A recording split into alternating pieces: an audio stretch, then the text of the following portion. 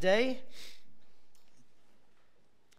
Week seven of our nine week series on being naturally supernatural, looking at the gifts of the Holy Spirit. And so today we're going to take a quick look at the gift of prophecy. And uh, no doubt all of you will have an idea as to what prophecy is. Um, and I'll, um, I, may, I may kind of um, bamboozle you with some, some different definitions to what you think prophecy is, but in the, in the whole framework of things, you're right anyway. But listen to how I'm going to communicate this, and, um, and, and I'm sure you'll see this is going to be interesting. And w- the one thing I want us to say before anything else is that every single Christian is called to prophesy. It's not just for the other person. It's not, it's for every Christian. Is that clear? If you forget everything else, remember that because God wants you to prophesy. So, prophecy, remember, we're looking at the supernatural gifts of the Holy Spirit. All of these gifts are supernatural. And prophecy is a supernatural message or utterance in a known tongue. In other words, in a tongue that we all understand, which is English. Most of us, some of you I know speak different languages as well, but in this congregation, in English. Prophecy. Prophecy is mentioned both in the Old Testament and the New Testament. In the New Testament was written in Greek, and the Greek word for prophecy is prophemi. Two words, a compound word. Pro meaning before or in front of, and phemi, which means to speak. The Hebrew word in the Old Testament, there are two Hebrew words actually, naba and nataf. And naba means to bubble up or to pour forth, and nataf means to drop or to distill. So if we put all of those things together, prophecy is a supernatural utterance that bubbles up within you and is spoken before other people. That's what prophecy is. So now I've told you I can sit down. okay? you, you will remember when we started this series that we were looking at the, the nine gifts that split themselves into three groups of three the three uh, gifts of revelation, the word of wisdom, the word of knowledge, and the discerning of spirits, the three gifts of demonstration, the gift of faith, the working of miracles, and the gifts of healing. And now we're looking at the three gifts of inspiration prophecy, tongues, and the interpretation of tongues. So today it's prophecy. Now, prophecy is the first of these gifts and is the leading gift of the inspirational gifts. And the reason why that is the case is because it takes the other two for this to work. See, giving tongues and interpreting tongues is the same as giving a prophecy, but bypassing that and prophesying directly. And so those two equal this one. And Paul gives a very clear direction in 1 Corinthians 14 and verse 5, and he says this to the church at Corinth But I would rather have you prophesy. He said, I speak in tongues more than you all, but I would rather have you prophesy. He put great emphasis on prophecy. So remember what I said every Christian is called to be prophetic. You know, the church is prophetic in two ways. We are, did you know, we are the prophetic voice of God to the world. So prophecy has two different ways of manifesting itself. Prophecy can be released when we, the church, come together like this on a Sunday morning. But also, we, the church, are called to be God's prophetic voice to the world. How are people going to hear about God unless we tell them? So we've got to understand that prophecy is about more than what happens in a meeting on a Sunday morning. In fact, I would go as far as to say it should be that should be the less part of prophecy. Prophecy should be a part of us so much that we prophesy not only to one another, but to people who don't even know Jesus. Now, there's a way of doing that, and you'll be exp- expounding some of that, looking at that in your life groups later on this week. So, what we need to realize here is that Paul puts great emphasis. In fact, he mentions the word prophecy or its equivalent 22 times in chapters 11, 12, 13, and 14 of 1 Corinthians. Okay, so I'm going to go with the same outline as with the others. What are the misinterpretations? What is prophecy not? Well, the first thing we've got to make clear is that we've got to not confuse it with the office of the prophet. Now, here's where I might cause you some kind of cause to think, and I'll explain what I mean by this. In the simple gift of prophecy, there is no revelation. How many of you thought prophecy is all about end times? Because it's not. I'll explain what I mean by that. That's not to say that revelation can be communicated through a, the avenue of prophecy. You will remember that the first gift that we looked at was the word of wisdom, and then there was the word of knowledge. But the word of wisdom is presenting facts that are in the future, facts of the mind of God. So within the delivery of a prophecy, there could be some predictive elements to it or some things to do with the future, but that is actually the word of wisdom being released through a prophetic message. So I hope I'm not confusing you now, but actually, we call that all prophecy, and it is all being prophetic, but in the simple gift of prophecy, there is no revelation. It's one of the other gifts that are included as well. Now, I want to make this point because it, there arises or can arise great confusion about the prophet's ministry. You know, the fact that somebody prophesies does not make that person a prophet. And of necessity, the prophet must have operating with him or her at least two of the other gifts of revelation. A prophet will also operate the word of knowledge and the word of wisdom, at least. Not every time he prophesies. I'm using the word he as generic, ladies, okay? All of us. but all prophets prophesy, but not everybody who prophesies is a prophet. All Christians are called to seek that they may prophesy, but not all Christians are called to be prophets. In fact, when you read towards the end of 1 Corinthians 12, it says that he has given first some apostles, second prophets, third teachers. So there are a different category of gifts given to the body of Christ. Now, let me take this one step further and then I'll leave it where it is. But there's a great difference between prophecy and the prophet. In 1 Corinthians 12, verse 10, we are looking at the gift of prophecy. and it says there to, that the Holy Spirit gives severally as he wills. In this occasion, a person has a gift. So, in any of these nine gifts, the Holy Spirit will give you a gift and you have that gift. The word gift in 1 Corinthians 12 for, is, is the word charis, C H A R I S, from which we get our English word charismata or charismatic. We are a charismatic church.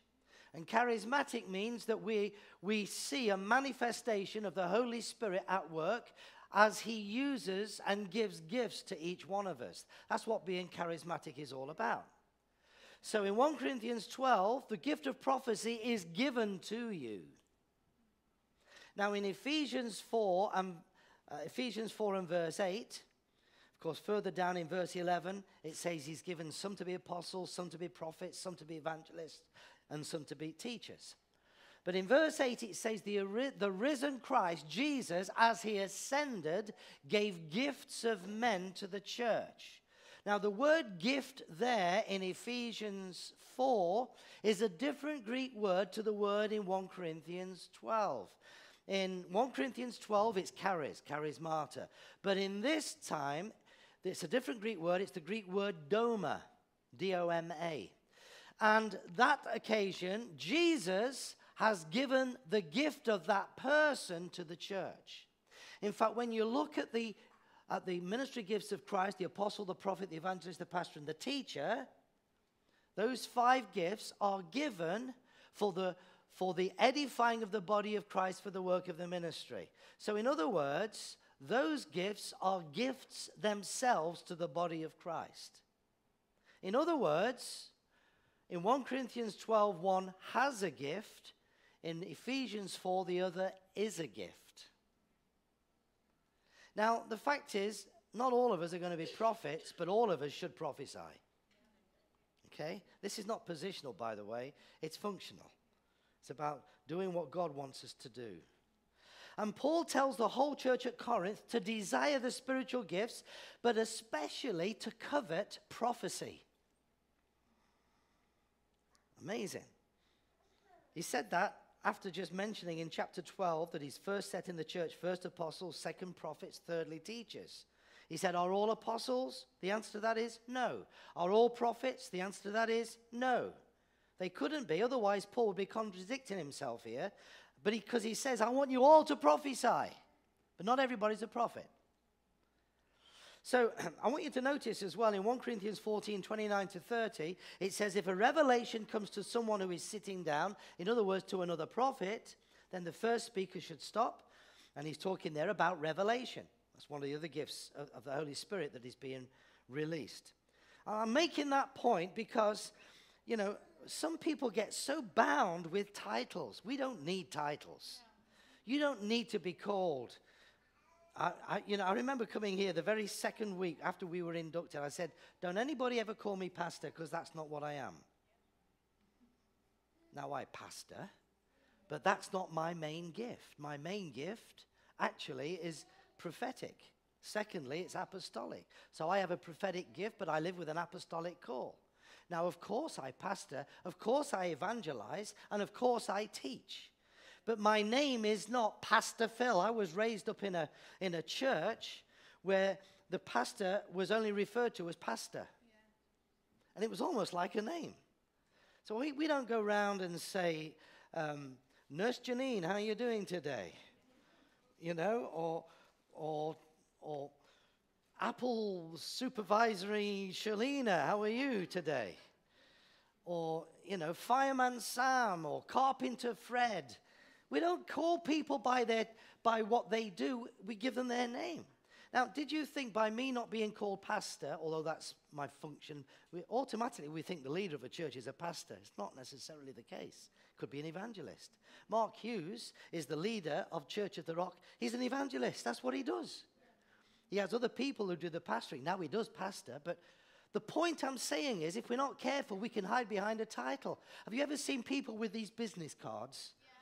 you know, and it's almost like Bishop Fred or or doctor this or I'm not, I'm not against titles don't get me wrong but it's almost like if you if you say that you're giving credibility behind who you are do you know what jesus just wants us to be ourselves he wants us to do what he has called us to do without hiding behind a lectern or a, or a title or anything like that and you know if we really get to understand that, we will be totally freed from the bondage of expectations of others. So, okay, said enough on that one. None of that was in my notes, by the way. But anyway, second one prophecy is not prediction. Prophecy does not have the power to predict the future.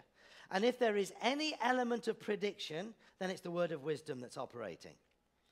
It's interesting to notice, actually, the difference between Old Testament prophecy and New Testament prophecy.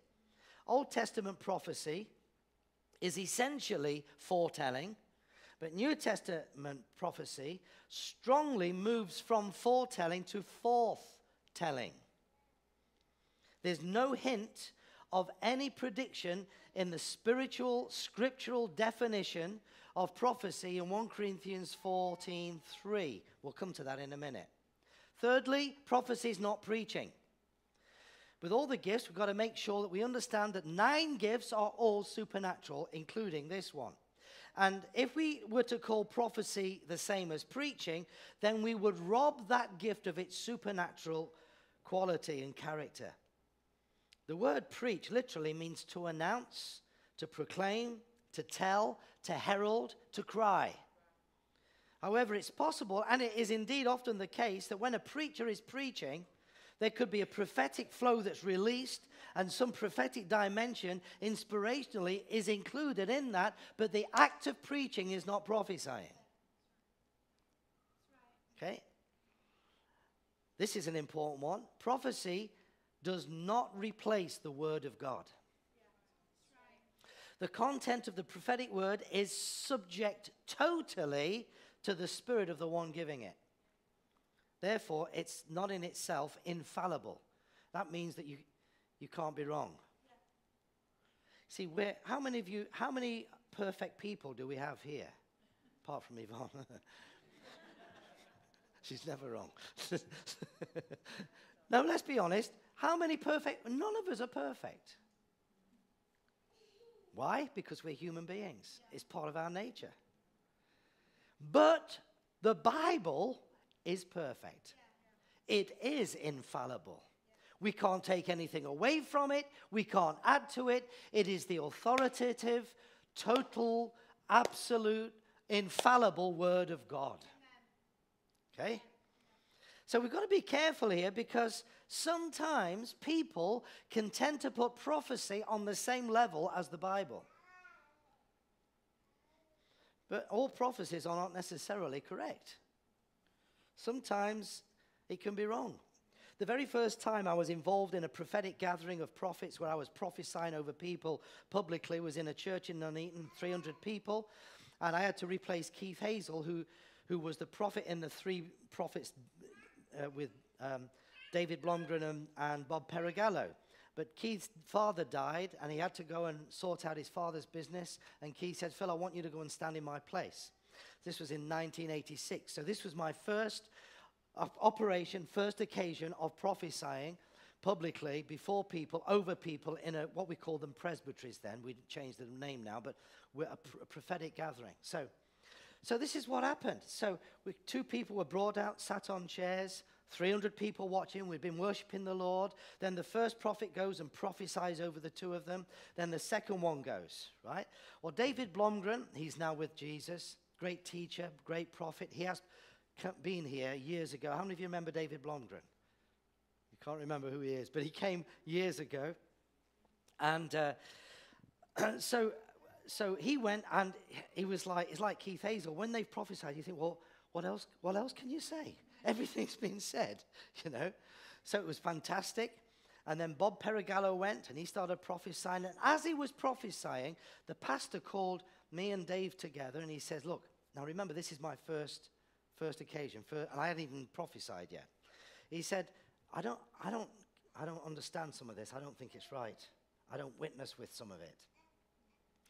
So after they'd finished prophesying, he gathered, them, he gathered us together. We sang another song, told the couple to stay there. So they sit, kept sitting there. And uh, Dave Blomgren, who was the lead prophet, said to the four of us in this little huddle, they, he says, Look, Bob, uh, John, the pastor, John King, has found this, this wanting, and we, we, we want you to retract what you've said because John felt that it was, it was not quite right. It was wrong. So the meeting started. I'm thinking, oh, dear me. This is heavy stuff.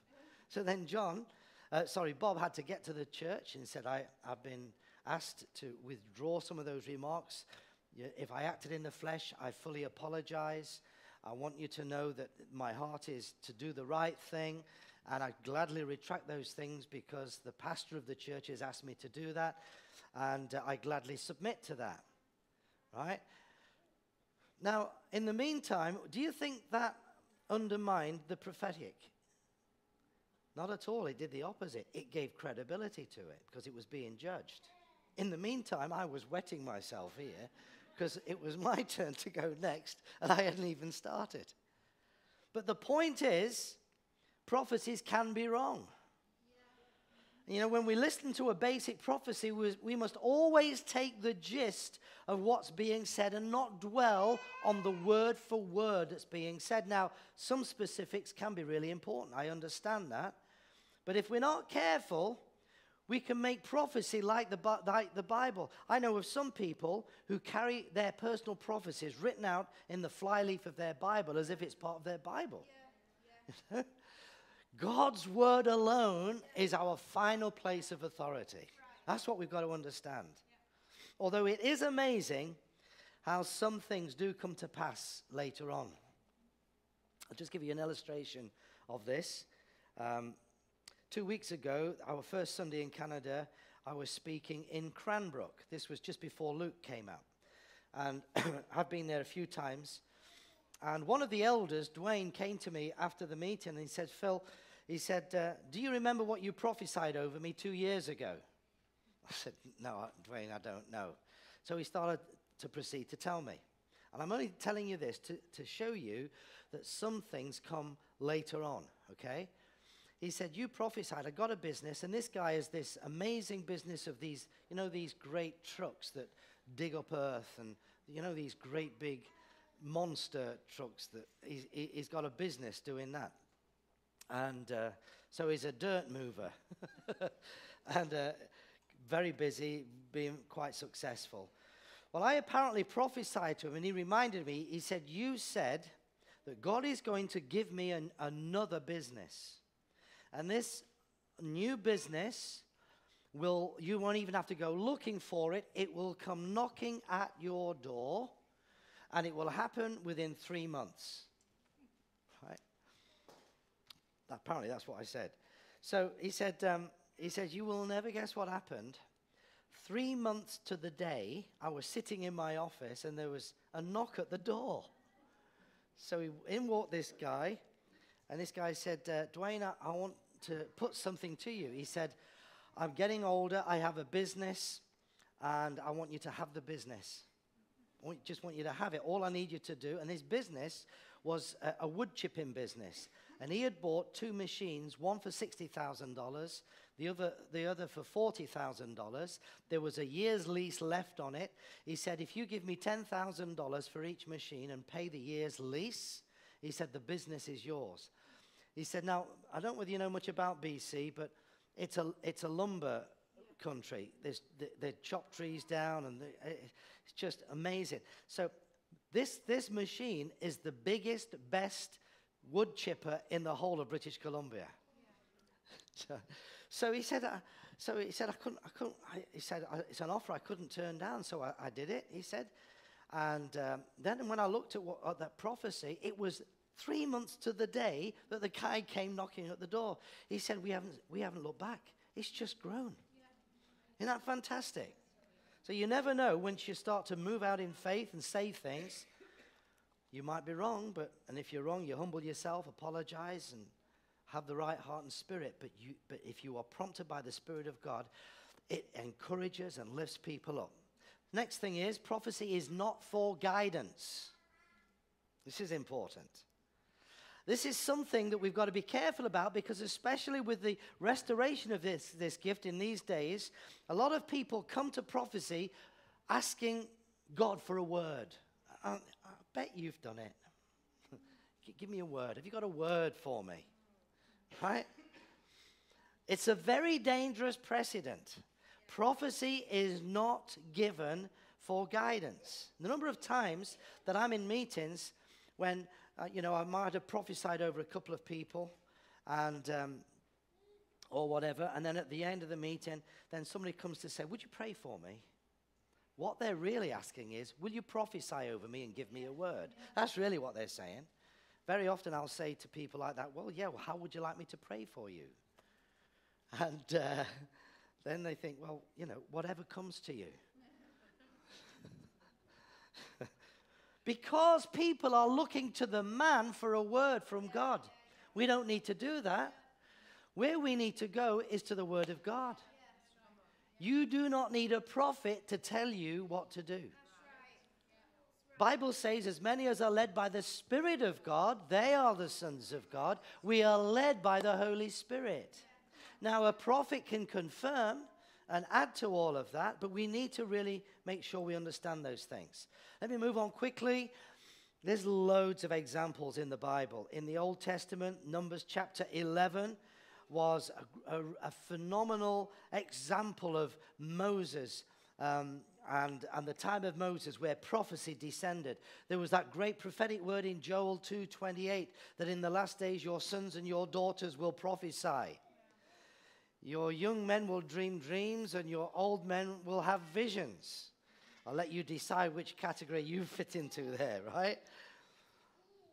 And then uh, Elisha prophesied. Actually, when in 2 Kings 3:15, he was asked to to prophesy. You know, the first thing he did was he called for a minstrel. There's something about worship and the prophetic that are tied closely together. Worship releases the prophetic. And very often in a worship service like this, God, the best, po- the best way of the prophetic being released is God speaking to you directly. So that as you're worshiping the Lord, something comes to your mind. It's not necessarily you thinking of things, be open to the voice of the Holy Spirit. Now, there are occasions when somebody may get up and say something, but actually, the most dynamic thing is to hear God for yourself. But worship leads the way. So Elisha said, Before I, before I prophesy, call for the minstrel. So he called for the minstrel and he prophesied. What do you think happened to King David as the boy? You know, when he after he fought Goliath and Saul brought him into his presence and and um, and he used to play the harp.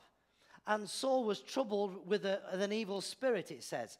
And when that happened, Saul, uh, David used to play the harp and the spirit calmed down. Why was that? It was because there was something of a release of the prophetic. In 1 Samuel chapter 10, Saul, the king, on one occasion found himself walking with a group of prophets. And to be a prophet in the Old Testament, you had to learn a musical instrument.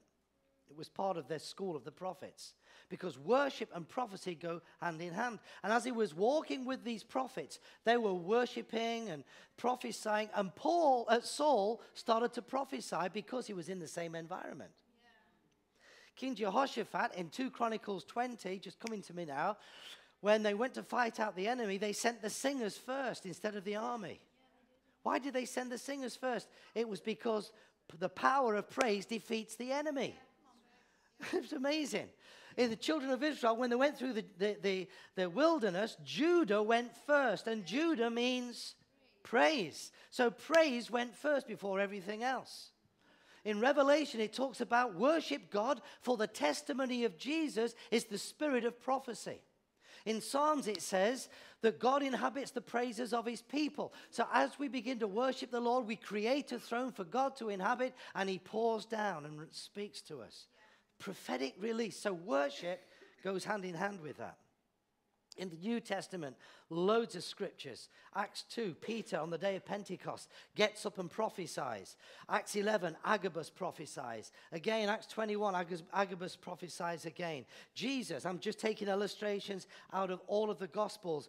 Matthew 24, concerning the last days. Mark 9, Luke 4, the Spirit of the Lord is on me, making a declaration. John 15, about the true vine. Prophecy after prophecy after prophecy. Now, its manifestation. How is prophecy released? What, what, what happens then? Well, the usual way of prophecy being released is spontaneously. It happens when a person is released without any premeditated thought and usually, an inspiration floods into that person's mind and they deliver it with their own ability. It's not like they go into a trance and they don't know what they are saying. The Bible says that the, that, that the spirit of the subject, uh, spirit of the prophets are subject to the prophet. You, it's not like you're going into a weird trance. You know exactly what you're saying. Now, when I prophesy, very often I don't know what I'm going to say until I start saying it, which sounds a bit backward, but that's the way it works for me. I've heard some people say they can read it word for word like a scroll. I'm thinking, oh, wouldn't that be great? I'm keep praying, Lord, let that happen to me. But I just get this urge to prophesy to a situation or to someone, and as I speak, God kind of, that's faith, that's how it works. But it's spontaneous. Visions, some people come with visions. Ananias, remember, uh, oh, had a vision. Isaiah Isaiah 6, I saw the Lord high and lifted up, and his train filled the temple. The whole book of Revelation is about John having a vision, and birthed out of that, all kinds of revelations began to flow. Dreams. Joseph had dreams. Aaron and Miriam, after they crossed over the Red Sea in Numbers 12, uh, the Lord spoke in that, in that cloud of presence and says, I spoke to them in dreams. So you can get a dream. I suppose the definition of a dream is something that comes to you when you're asleep, and a vision is something that comes to you when you're awake, really. Then there's angelic visitations, Acts 10, Peter.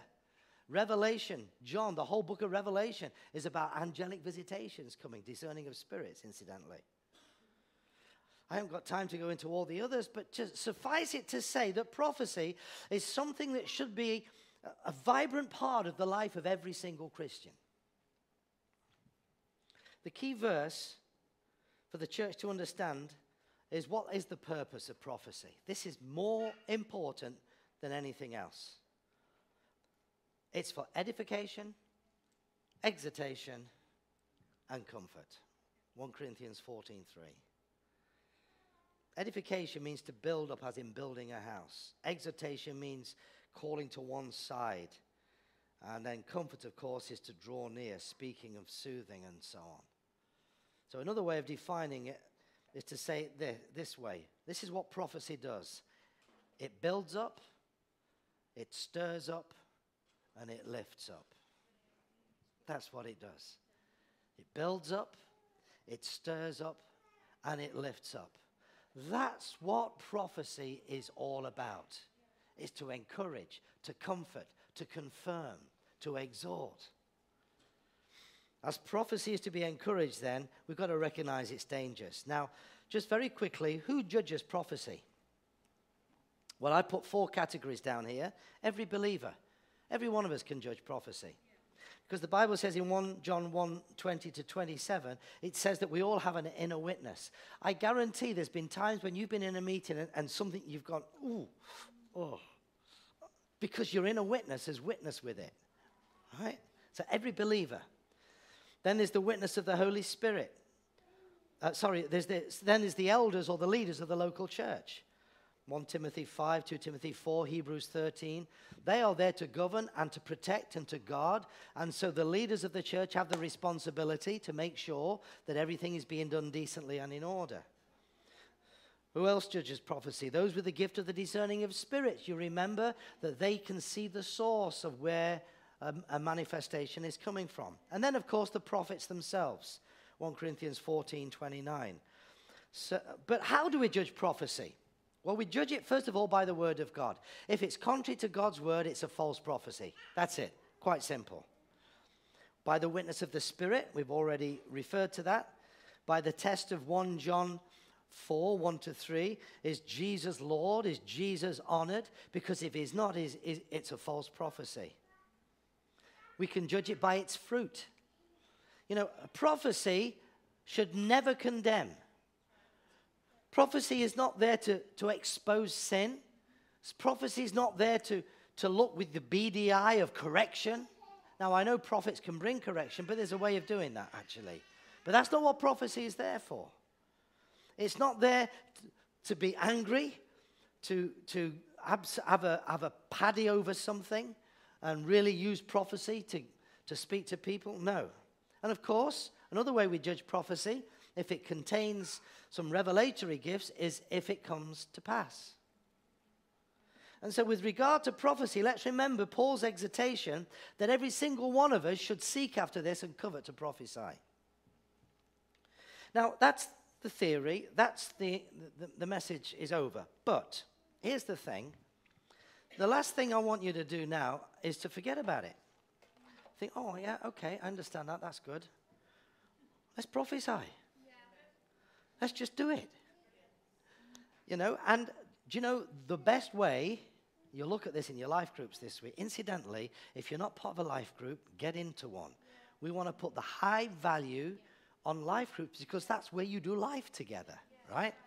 But the best place is in life groups where you learn and you, and you practice these things, but also just get out there and take a step. And uh, you will be amazed at what God will do to you.